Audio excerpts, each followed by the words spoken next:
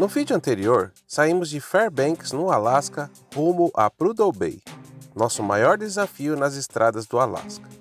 Entramos na famosa Dalton Highway e chegamos até o Círculo Polar Ártico. Neste vídeo, continuaremos nossa aventura rumo ao extremo norte das Américas. Bom dia, pessoal! Dormimos aqui onde a gente mostrou ontem, Cold Foot. A noite não foi muito fria, a mínima foi 4 graus, ó. 4.1, mas não tava ventando lá fora. Agora tá 9 graus lá fora. Tô fazendo aqui nosso café da manhã, panquequinha de banana, já tô fazendo o café aqui, já tá quase pronto pra gente poder pegar a estrada. Hoje temos também um dia de viagem bem intenso, a estrada é igual que a gente pegou ontem, meio asfalto, metade terra, mas no fim a gente tava preferindo a terra do que o asfalto, gente, porque asfalto com buraco é pior do que estrada de terra, né? Ontem a gente, eu tirei uma foto da aurora boreal, vou deixar aí. Ela tava bem intensa, mas as nuvens estavam muito carregadas aqui onde a gente tá. Olha, se tivesse o céu limpinho, a gente ia ver ela esplendorosa assim no céu. Ia tá maravilhosa. Mas tava muito nebuloso, umas nuvens muito carregadas de chuva. Então só consegui ver bem pouco. A foto capta mais, né, do que a gente vê. Então eu vou deixar a foto aí pra vocês. Vamos tomar um café aqui pra gente poder seguir viagem hoje um pouco mais cedo, né, do que a gente pegou a estrada ontem. Pra poder também chegar mais cedo no nosso destino. E vamos seguir viagem, mas antes abastecer. É, gente, o caminho aqui não tem muito posto. Acho que esse é o único que tem no caminho. E depois tem um outro lá no final da estrada, obviamente, né? Senão você não volta. E creio que vai ser o combustível mais caro que a gente vai ter pago aí na história. na história também não, né? Nos Estados Unidos. Aqui. Vamos fazer a conversão aí depois, quando a gente abastecer. Mas é óbvio, né? Chegar aqui tem todo um trabalho, então acabam elevando o preço. Mas é bem legal o lugar que a gente parou ali. Eu não cheguei a ver, mas parece que tem água ali. Não sei se tá, é gratuito esse ponto. Tá um monte de gente ali. E... É, pelo Iverlander é gratuito esse ponto, né? é. né? Não sei se depois eles vão começar a cobrar, porque já tá com alguns postezinhos com ponto de energia, né? É. Igual camping mesmo. E aqui tem algum uma bomba de combustível, deve ser. Cadê? Lá na frente. Lá na frente. Vamos tem lá. borracharia, se estourar os pneus. Tem alguns servicinhos aqui na cidade aqui, né? É uma vila, né? É muito pequenininho, né? É. Mas bem movimentado. Os caminhões param todos aqui, Todos né? param aqui. Viajantes no geral param aqui. Seu destino está à direita. Está no meio do caminho, né? É. Vamos ver aqui. Chegando na bomba de combustível. Pagando cartão, né? Não tem nem ninguém aqui. Diesel. 7,49. 7,49 o galão do diesel, gente. Meu Deus. Meu Deus mesmo. Aquela boca é menor? É menor aquela. Mudamos de lado, que aquela lá tinha uma boca maior. Geralmente é para caminhão, para ir mais rápido, né? 7,49, mesmo preço. Não? Tá quanto? 7,99. Não, 7,49. Não, esse aí é regular, é gasolina. Isso. Ah, é 7,49? Ah, que eu tô enxergando ah, essa. Tem que ir lá dentro. Tem que ir lá dentro? Tem, esse, esse leitor tá desabilitado. Ah, tá. Eu vou lá. Acho que é ali, ó. Bomba. Bomba 2. Tá bom, eu vou lá. É no café, falou. É tá, ali, ó. Eu vou lá. Gente, já paguei. Eu pré-autorizo aí um valor, 150 dólares. A gente vai ver se vai gastar tudo, né? E eu consegui até pagar via aproximação. Importante essa informação, porque às vezes a gente acaba abrindo conta no meio da viagem, não tem cartão, essas contas digitais, né? Então, consegui usar por aproximação aqui. Já tá. Usando o celular? É.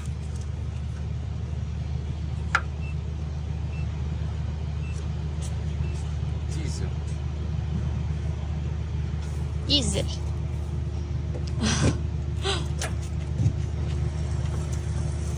O duro aqui é só o piso ali, isso já tudo o tênis depois suja tudo aqui, ó. Mas a gente limpa, né? Ui. E 118 dólares, galera. 118 e 40. É.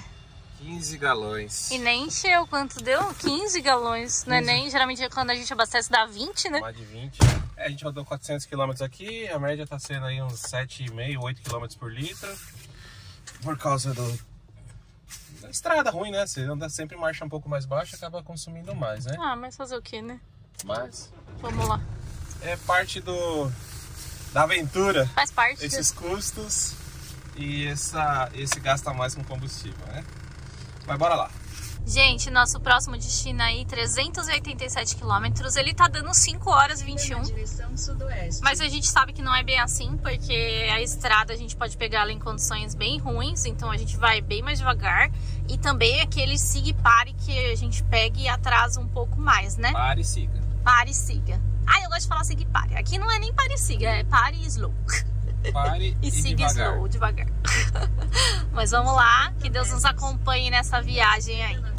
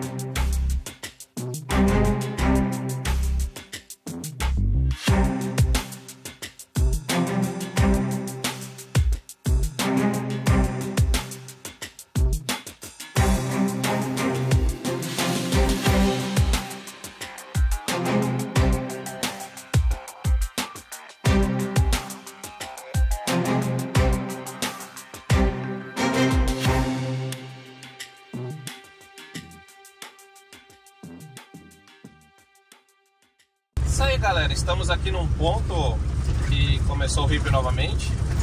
Ripio não, né? Estrada de chão. E tá um pouco de garoa. Não tá tão forte, mas tá mais úmido aí o, o piso. O carro não tá balançando, não tá sambando. É, pelo menos estão subindo bem aqui as ladeirinhas que tem creio que vai se manter assim. Diminuiu bastante o volume de caminhões que tinha na outra que a gente veio até Cold Foot ali. Então agora a gente está pegando um ou outro caminhão vindo, é, poucos carros indo também. Temperatura agora está em 9 graus, mas dá para ver ali na frente, né, que aparentemente o sol está batendo do lado de lá, né? Então a gente está aí com a esperança de que esse trechinho seja só realmente essa garoinha que não forme nenhum atoleiro. E aqui a gente está atravessando uma mini cordilheira, né? Uma serrinha, é, umas serras que tem aqui na região. Eu estive vendo que o caminho, eu sempre olho o caminho antes para ter uma ideia do que a gente vai enfrentar, né? Então, altitude, altitude, né? clima e tal. E eu vi um ponto que parece que a estrada sobe aqui a cerca de mil metros. Então essa parte aí dessa serrinha a gente vai ter umas subidas é, não sei se vai ser estrada de chão, se vai ser estrada é, pavimentada, mas de qualquer forma, depois que a gente sobe ela aí, depois começa a descer, mas pode ser que a temperatura baixe mais, né? Quanto mais alta a gente sobe, mais frio vai ficando, né? E quando a gente chegar nesse ponto aí, eu, eu volto aí e falo pra vocês como, como foi aí a subida e se foi difícil ou não. Primeiro pare aqui na estrada. É, tem já um carro na nossa frente aqui. Vamos ver quanto tempo a gente vai esperar. Estamos no meio da, dessas montanhazinhas aqui, dessas pequenas cordilheira. E vamos ver, né? Quanto tempo a gente vai esperar aqui para poder seguir. Imagina que vai ter um comboio e o chão. A gente está em a 600 metros de altitude, 10 graus. Imagina aí que vai vir um, uma carro, como eles chamam aqui? Carro piloto, né? Pilot car, para levar a gente aí é, pro próximo ponto aí. Então, imagino que deve ter sim uma estrutura legal aí para que a gente não fique parado na subida, vamos dizer assim, né? Mas tá um solzinho, parou de garoar, eu acho que vai dar bom, gente. Vai ser de boa. Rodrigo já tá assustado com as condições dos carros que voltaram. o Pilot Car já veio, que vai liberar aqui já pra gente. É, a moça tá ali ainda. Ela saiu. Eles normalmente esperam formar um comboio, né? Um pouquinho maior. Só estamos em dois carros. E, e aí também um controle do outro lado, né? Se tiver muita gente esperando, ela já deve sair. Mas se não tiver, ela espera formar um comboio aqui. E isso é o que atrasa um pouco a viagem. A gente parou ontem umas quatro vezes assim, né? É. Três, quatro vezes. E assim, paradinhas de 15, 20 minutos, mas quando vai somando dá uma é. hora e pouco, né? Então... É o que eu falei pro Rodrigo, a previsão tem para a gente chegar lá quatro e pouquinho, quatro e meia. Já tá 4h44 e eu acredito que a gente vai chegar lá por volta das 6 horas, 6 e meia. É. E ainda a gente para pra comer, né? Pra almoçar. É. E olha a situação desse Jeep aí na frente também. Nossa. é um é. carro 4x4 também. Os caras devem ir que nem. A gente vai devagarzinho no barro, né? Eles se metem, não, né? Não adianta. Eu vi o pessoal passando devagar aqui nesse barro que tá formado aqui do outro lado, quando os caminhões passaram, e sobe. Passando devagarzinho, sobe. Liberando aqui, vamos ver como que tá as condições ali na frente. Bora, bora! Pegar bora. barro. Uhul. Eu fico com dó desses trabalhadores nesse frio, às vezes chovendo, né? Eles têm roupa apropriada, né? Mas. Isolados do mundo. É. Tadinhos, o dia inteiro aí em pé.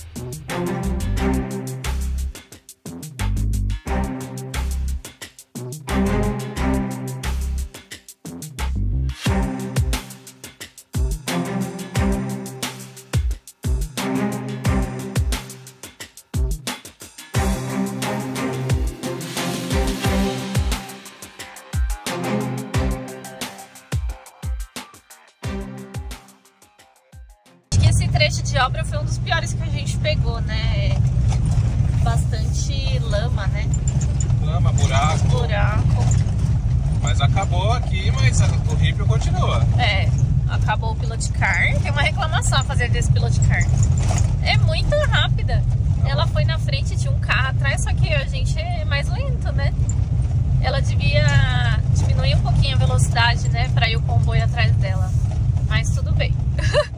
Vambora, que a gente ainda tem que atravessar essa cordilheira por aqui. É rípido, mas não tá tão ruim como a gente passou ali atrás. Ali eles estão em obra, é, até obras colocando a tubulação para passar provavelmente petróleo, né? Não, não é? acho que é para água mesmo. De água? É para dreno, né? Dreno da estrada. E... Mas agora tá melhor. Vamos passar. Essa região aqui é linda, gente. E as cores de outono a vegetação já tá uma parte verde, tá uma parte amarela, uma parte laranja, uma parte mais avermelhada. E essa estação aí de outono é muito bonita. Apesar da gente não estar ainda em outono, já entramos no outono aqui na Alasca, né? Neve! Neve das montanhas! Olha que coisa linda, gente! Linda! Todo nevado em cima! Olha! Agora tem que descer com o mesmo cuidado que subiu, porque. É. Apesar que acho que a descida não é forte, não. Mas olha só, que coisa fantástica. Que cena linda. Que lindo isso. Meu Deus. Que lugar lindo. Acho que agora é descida, então tem que descer engrenadinho também. É. Pra não derrapar, né? Não sei como é que tá, né? Vamos devagarzinho? É, vai na manha aproveitando. Passando no meio da montanha. Parece que estamos no meio das cordilheiras dos Andes, né? Parece, lembra muito, né? Olha. Que lindo. E aquelas nuvens ali, provavelmente nuvem de neve ali em cima. Deve estar tá nevando, Deve é. tá nevando. Você vê que é uma neve branquinha, novinha. Nossa, que coisa linda. Parece, quando você sai do Chile, assim, indo pra Argentina, Mendoza, é isso aqui, só que lá era asfaltado, né? É. que Bem asfaltado. Coisa linda. Meu Deus.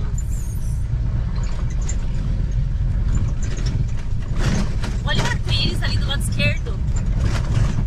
Tá vendo? Temos arco-íris. Que coisa maravilhosa esse arco-íris.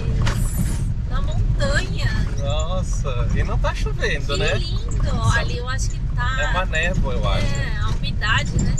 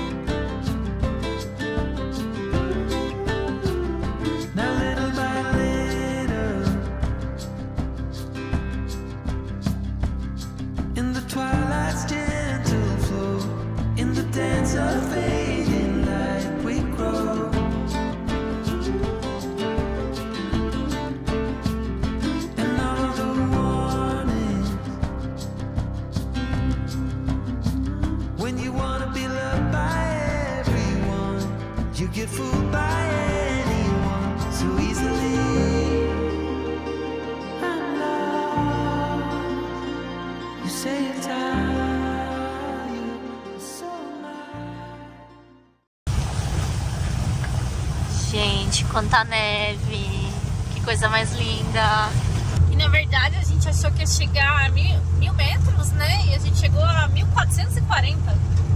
Quase 500 a mais, né? E já tem neve aqui em cima, gente. Nós não pegamos neve caindo. Uma garoinha bem fininha mesmo.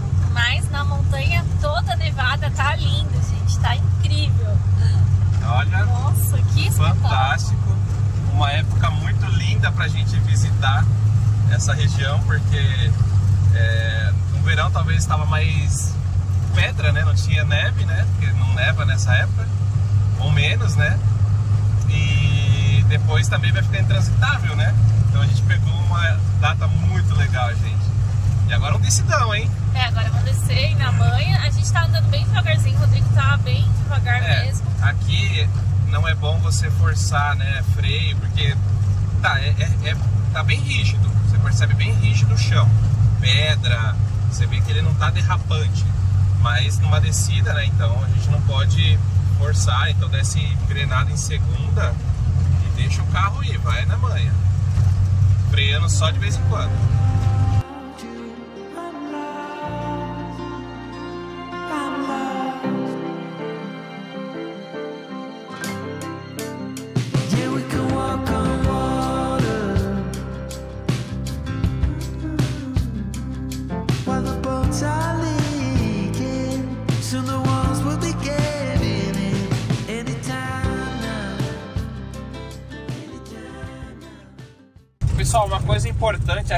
Também dessas estradas aqui é não confiar muito no que o GPS fala com relação a tempo, mas não só por causa dos, dos bar e siga que tem, das obras que está tendo no caminho. Mas no Google, por exemplo, no, a velocidade que está aqui, marcada até pela, é, pela placa que indica que você pode rodar aí, né, da, de trânsito, é rodar uns 80 km por hora. Só que você não tem condições de rodar 80 km por hora aqui com essa buraqueira que você tem. Se você até te engana, às vezes você pensa, ah, vou pisar porque então tá esse limite de velocidade. Mas os buracos aqui tem uns que se você não freia a tempo, você arrebenta teu pneu, você arrebenta tua roda, quebra um amortecedor. São trechos assim que variam. Tem hora que tá muito bom, dá para rodar até 80, 90. Mas tem outros que horríveis. Então tem que tomar muito cuidado, andar numa velocidade média aí, 60 no máximo, para evitar um desgaste maior depois de alguma coisa e quebrar até, né? Imagina quebrar aqui no meio do, Hoje a gente está no meio das montanhas, não tem borracharia, não tem socorro, é complicado, né? Então, quem pretender fazer essa viagem para cá, já estar atento a isso, de que quando você põe lá no Google, no Maps, no que seja o mapa que você use, não considere aquele tempo. Pode chutar para mais uma hora e meia, duas aí tranquilo, porque é, você não vai fazer a velocidade que a pista permite. Nova fase desbloqueada, fase das costeletas. ai, ai. Uma parada rápida aqui pra gente poder esquentar a comida. A gente não vai almoçar agora, que eu não tô com muita fome não, mas a gente já vai deixar na panela elétrica trabalhando. Gente, olha o estado do carro. Não dá nem pra ver mais o farol aceso. Olha. Eu acho que eu vou passar um pano aqui pra tirar esse barro. Olha esse outro lado. Pelo menos pra enxergar as luzes, né? Não sei, tá de dia, mas é, não dá pra ver o carro. se tá freando, se tá com o farol ligado. Situação, gente. Meu Deus do céu. Olha. Mas faz parte. E olha que lugar lindo que a gente parou. Que beleza, gente. Olha que montanha incrível. Olha. Lá em cima tá provavelmente nevando, né? Dá pra ver que tem ali uma, uma, um acúmulo de neve, né? Aqui embaixo não. Tá 11 graus. E o lugar é bem bonito, ó. Rodeado de montanhas. Estamos indo para lá. Aqui vai a estrada continua ali. A gente vai sair dessa região, dessa pequena cordilheira que nós estamos cruzando aqui, para ir para Prudhoe Bay. E a gente deve ter aí mais umas 3, 4 horas de viagem até chegar lá. Ele vai limpar? Vamos limpar, né, gente? Porque é segurança, né? Não é difícil tirar. Você vê que é uma terra. É uma. É um... Ele sai até fácil se bater, ó. Pelo menos não é uma lama, né? No pneu não tá muito, né? Não. O pneu ficou. tá limpo. Mas tá olha, ó, ó o O estribo. estribo tá todo, parece um cimento isso aqui, ó. Ai.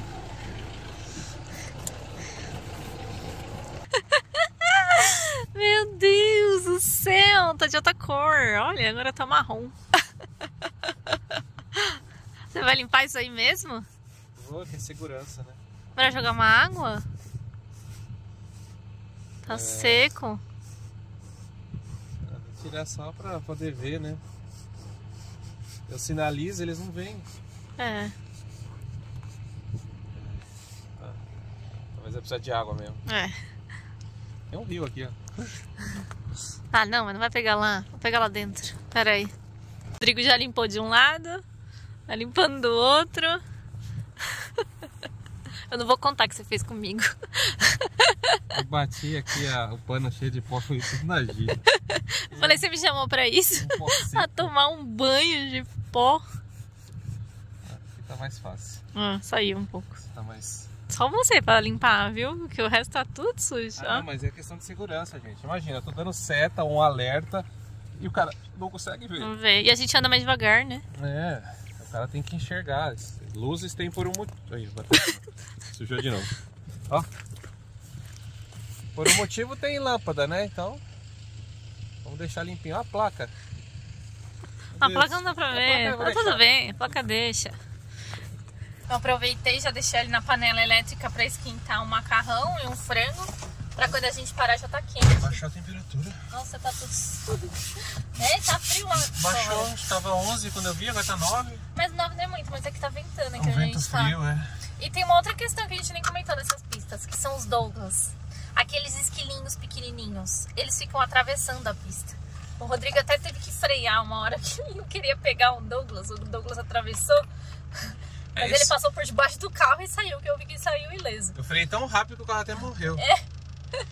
E é que esses não são esquilos, eu acho, hein? Parece um castorzinho, Parece um eu não castor. sei. Ele passou muito rápido. Ele fica em pezinho quando ele para assim. Parece um suricate também ao mesmo tempo. Sei lá, um bichinho estranho. Mas eles passam, cruzam a pista toda hora. Agora vamos seguir viagem. Ainda falta 3 horas e pouco pelo GPS. Vocês sabem que falta mais, né? Então. Começa agora uma pista aqui, aparentemente, não sei quanto, por quanto tempo, mas parece um concreto, mas talvez não fique concreto. Vamos ver, 230 quilômetros. Vamos lá.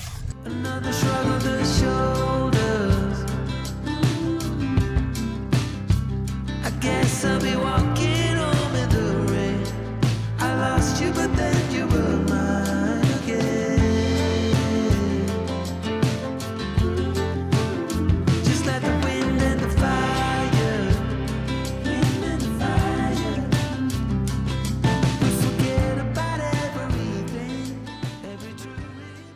Ó, gente, panela de arroz é vida.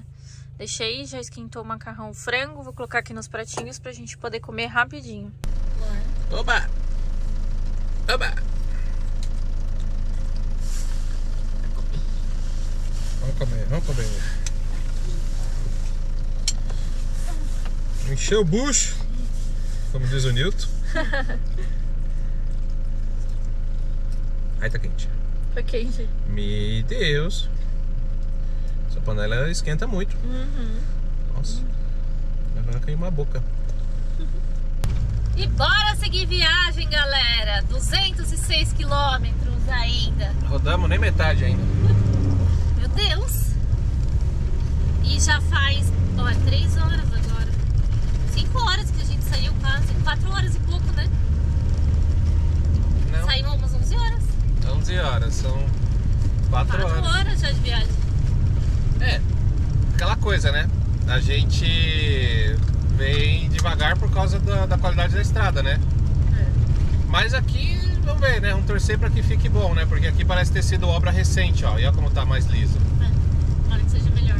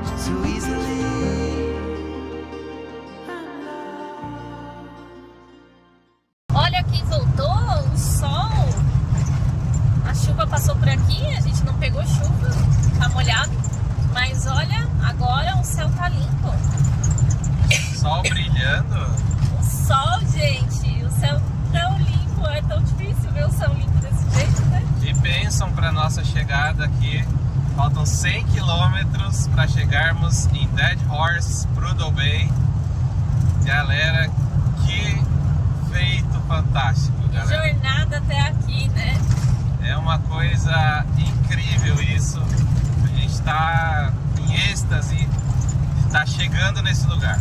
É um caminho desafiador, mas também muito bonito.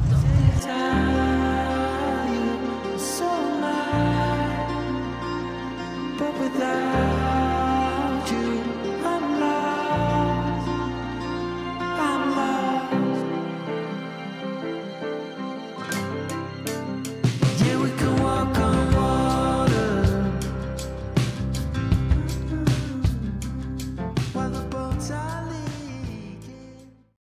tava falando pra Gi, olha a cor desse céu.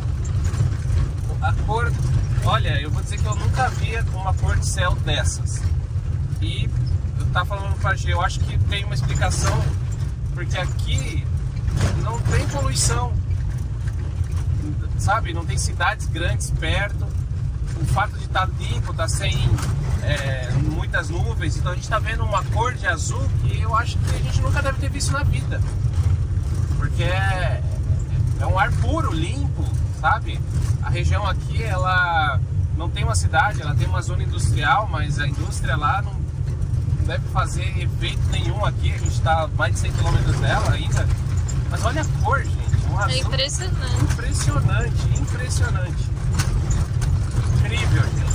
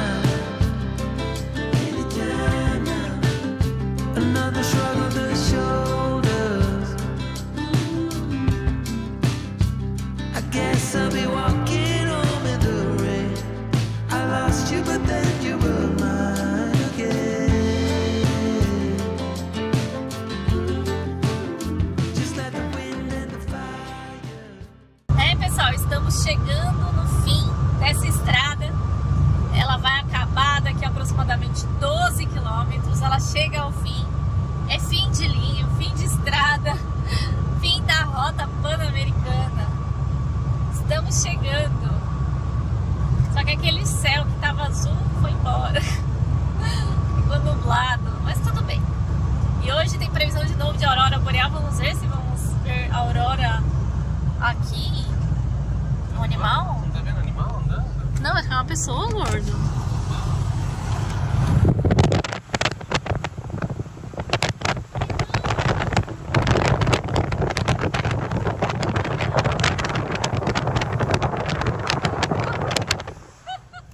Eu não enxergo direito o Rodrigo que enxerga os animais na frente.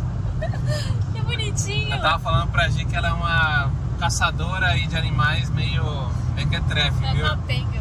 Porque a gente passa, eu, ó, eu tô dirigindo, tô olhando a estrada, mas aí eu vejo assim, eu já aponto. Ele vê. Aí eu apontei pra ela assim. Ela, ah, Onde? Mas eu achei que era uma pessoa. então, olha, uma pessoa chifruda. Ai, Ai meu Deus. Ah, galera, Dead Horse, bem-vindos aí ao fim da rota.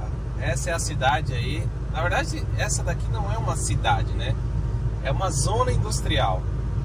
Dizem, ah, Dead Horse não tem nada, né? Realmente ela é, é, tem um hotel, um mercadinho e tal, mas é dedicada mais à, à indústria. Se não me engano, deve ser petróleo aqui, né? Tem até um aeroporto gigante aqui, ó. Me impressionou. Está passando do lado dele aqui. Tem uns aviãozões. Olha o tamanho daquele avião, amor. É, enorme. Grande aqui o, o aeroporto. Mas é dedicado aí a, a indú- algumas indústrias aqui, né? Imagino que petróleo mesmo. É, os trabalhadores que vivem aqui, né? Sim, eu não sei aí a quantidade de pessoas que habitam a, a- a cidade. Mas, gente, de qualquer forma, é o fim da rota pan-americana. É o, é o Uhul! fim da linha. Estamos chegando! É o máximo que você consegue chegar ao norte do continente de carro. Tem outro lugar que dá para chegar. Nossos amigos foram para lá, mas é no Canadá. Chama Tuktoyaktuk. É. Mas ela está em uma latitude muito parecida aí à de Dead Horse. Então, são pontos extremos aqui É. da América, das Américas, né? Mas essa aqui é onde termina a rota pan-americana que a gente começou lá no Chuaia, né? Isso. Baía de Lapataia. A gente foi quando esteve lá no Chuaia. Vamos deixar uma foto aí É, desse momento. Baía E agora? de Lapataia. Estamos chegando agora pro. Muitos quilômetros depois De Bahia a Bahia. de Bahia, Bahia, para o Dobei. Estamos chegando, estamos chegando. chegando. Que emoção, galera. Gente, deixa eu ver, a gente tava em março, março, abril, maio, junho, julho, agosto. Dois anos e cinco meses, quase. Dois anos e cinco meses, quase depois de chegar no Chuaia, de chegar no começo da Rota Pan-Americana, estamos terminando ela aqui. Do início ao fim. Essa rota aí Em 500 metros, Olha. chegaremos ao destino. Faltam 500 metros, gente. Ali é o fim. O fim da rota pan-americana. Achando de colocar o adesivo, É, né? vamos achar onde coloca os adesivos de viajantes.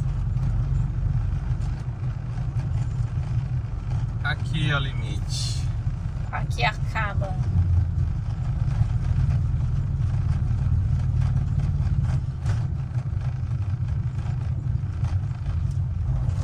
Tudo bem, hotel.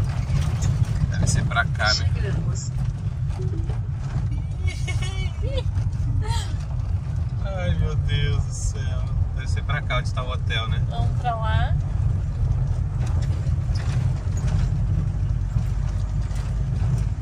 Deixar nosso adesivo registrado que chegamos até aqui. E estamos chegando aqui, galera, no ponto que vamos dizer assim, é onde todo mundo cola seus adesivos de chegada a Prudhoe Bay. Welcome to Dead Horse, fim da Dalton Highway. Que da hora, gente. Vamos tirar umas fotinhas aqui, obviamente, com o nosso carro. Que... E colar nosso adesivo, obviamente. Bibeca chegou até aqui. desde o começo até o fim. Chegamos aqui, ó, fim da Dalton Highway e o fim da Pan-Americana também. Chegamos! Chegamos longe, hein, gente? Bate aí. Meu Deus do céu. Estamos longe, hein? Estamos Meu longe. gente. Deus, gente, olha. Se você olhar no mapa, nós somos dois pontinhos lá em cima do continente, perto do Oceano Ártico ainda. Tem muitos adesivos aqui de viajante, é um grande marco aqui pra nós. Olha isso. Onde vai colar agora? Não tem nem espaço. Ah, aproveita que você é grande, Nas costas e você cola lá em eu cima. colo em cima. E vamos colar aqui um dos nossos adesivos, vamos deixar vários aqui. Quem achar, grava, marca a gente. Vamos deixar perto dos amigos ali, se joga no mundo. Tá cheio já, né? Peraí. Tá bom. Muito bom. Show de bola. Marcamos nosso território aqui em Dead Horse. Marcando territórios. E a gente também não poderia deixar de registrar um momento aqui que a gente fez a promessa para nosso amigo. Para quem já nos segue aqui no canal, sabe que a gente tem um grande amigo, um irmão lá no Equador, nosso amigo Andrés, o Churrasquim. Quando a gente estava lá, ele nos presenteou essas duas placas aqui, lá ao padrão do, das placas do carro do Equador. Nos deu e a gente falou para ele, ó, quando a gente chegar lá em Dead Horse, a gente vai registrar a nossa chegada lá com essas duas placas. Então, Andrés, esse daqui é para você, um grande irmão, uma pessoa que fez parte do nosso caminho, como muitas outras. Como prometido aí, ó, aqui no Alasca estamos lembrando de você em agradecimento pelo presente dado. Claro que elas são nossas, né? A gente vai colocar isso num lugar especial quando a gente estiver no Brasil, mas aqui a gente deixa um momento registrado com as placas que você nos deu, que você nos presenteou quando conhecemos você aí em Guayaquil, no Equador. Um abraço, querido. Saudade. Abraço, Andrés! E a gente vai dormir aqui, ao lado do rio, nesse lugar bem tranquilo. Ó, o céu tá limpo ali, vamos ver se a gente consegue ver a aurora boreal hoje. E o estado do carro não tá muito pior do que daquela hora, né? Não- Não sujou muito além do, daquele lugar que a gente passou. Não tinha como sujar mais, né, velho? Já tá todo sujo, né? Meu Deus do céu. Que Mas situação. eu passei um paninho, vocês viram que saiu ali. É, Então significa que quando eu chegar lá em Fairbanks e vir com um jatão d'água assim, deve derrubar tudo isso aí. vai ser fácil E tirar, aí né? eu vou tirar esse excesso só, né? Porque aqui a região tem muito poeira, né? A gente passou bastante poeira no, no Canadá, Alasca, então lavar assim pra valer mesmo não vai ser agora. E vamos finalizando por aqui esse vídeo. Chegando aqui em Dead Horse, Prudhoe Bay, no fim da Rota Pan-Americana, fim da Dalton Highway, e aí mais um marco nessa nossa jornada. Isso aí, gente. Vamos descansar agora. Está esfriando, previsão Tá. de fazer 3 graus, 2 Meu graus à noite. Então vai ser bem geladinho. Mas a gente tem aquecedor, estamos bem abrigadinho dentro do carro e vai dar tudo certo. Até o próximo vídeo, galera. Tchau!